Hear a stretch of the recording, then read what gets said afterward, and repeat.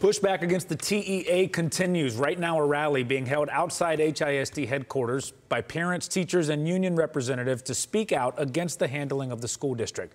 Lileana Pearson is there right now. Lileana, what is happening? It looks like a pretty active scene behind you. Yeah, the march just wrapped up, but you can see there are still plenty of people here right now parents, teachers, students, union leaders who are incredibly passionate about what's happening in their school district right now. We're told by participants that the purpose of the picket is to hold the new administration accountable. Issues with local unions and teachers have been raised to ABC 13, including accusations that dual language programs are being scaled back, that scripted and timed lesson plans leave students behind, and students with learning disabilities are being told not to be accommodated. Many teachers have only spoken to ABC 13 on the condition that we don't share their identity, saying they fear retaliation. But today, a few teachers did speak to us for the first time, saying they're willing to put their jobs on the line for change. HISD has told us previously that dual language programs are intact, their curriculum departments are being built out, and students with learning disabilities are being accommodated.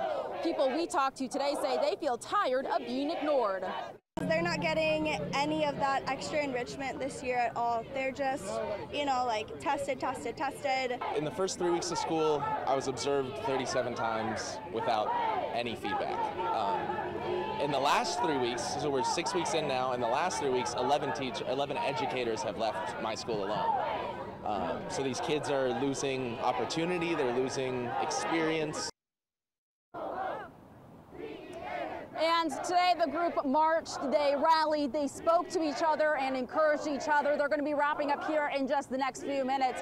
Today I did reach back out to HISD. They told me that they are committed to creating an equal learning environment that closes out learning disparities. From HISD headquarters, I'm Lileana Pearson, ABC 13 Eyewitness News. Lileana, thank you so much.